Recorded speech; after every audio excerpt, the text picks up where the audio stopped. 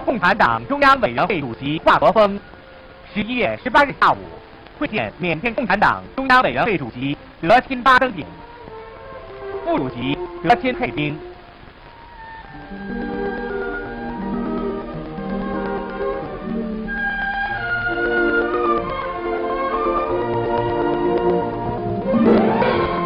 两国大友起照相。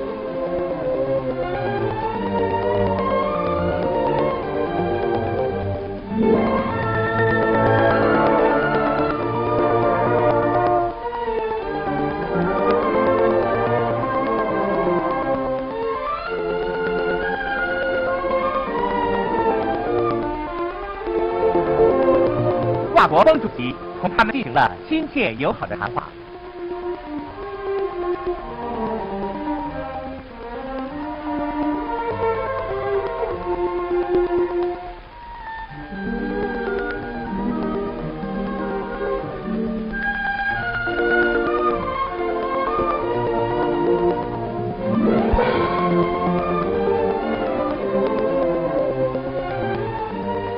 中央政治局委员李先念，中共中央委员、中联部部长耿钊，中联部部长李一芒。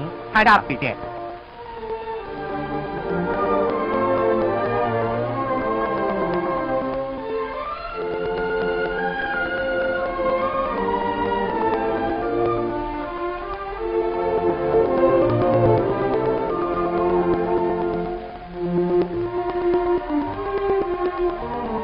会见以后，华国锋主席举行宴会，招待德钦巴登顶主席和德钦佩丁副主席。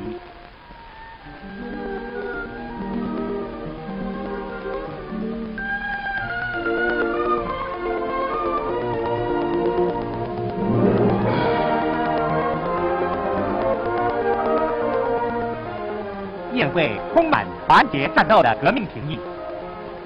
两国战友共赴中缅两党之间的革命友谊和战斗团结不断增进。